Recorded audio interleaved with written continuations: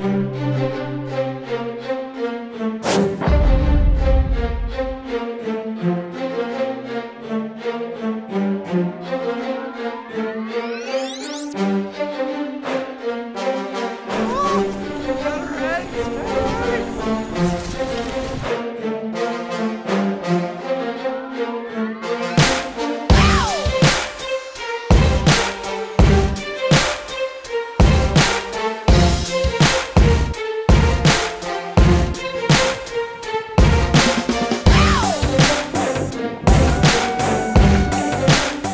me, uh, Treble Cone is perfect for training for the Freeride World Tour because it has a wide variety of terrain, uh, lots of vertical to get nice and strong over the summer, it's basically my summer, and also lots of features for jumping like cliffs and chutes and uh, natural freestyle, all against a beautiful backdrop.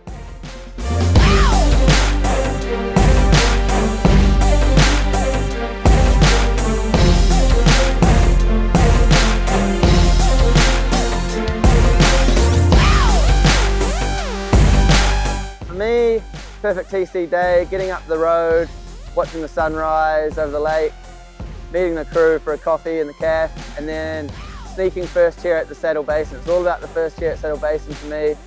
Finishing her up with some laps through the Motatapu chutes and the summit, and uh, just getting involved in a good old-fashioned rat pack, ripping around with my friends.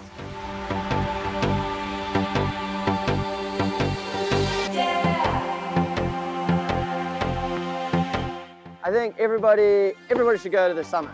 Everyone should go up the summit, look over the back, look at the view to Mount Aspiring, uh, and then ski the big apron and uh, get some power trills on the way down. It's, uh, it's a view not to be missed and uh, the turns are worth the hike.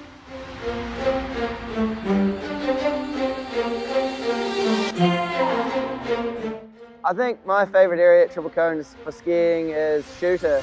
It's like a, a natural pipe. You can air out of all kinds of different ways. It's uh, something I've skied all my life, so it's kind of like super familiar, but always looking to make it different.